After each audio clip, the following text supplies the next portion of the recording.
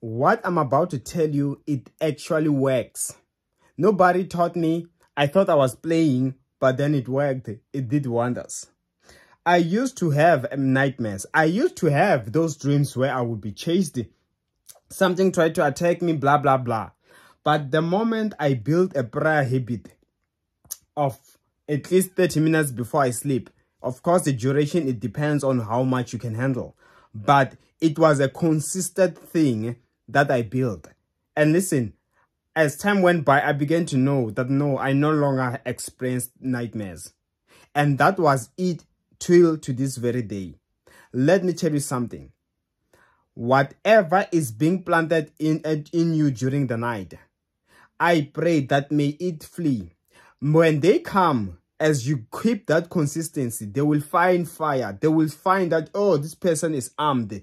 They will be terrified.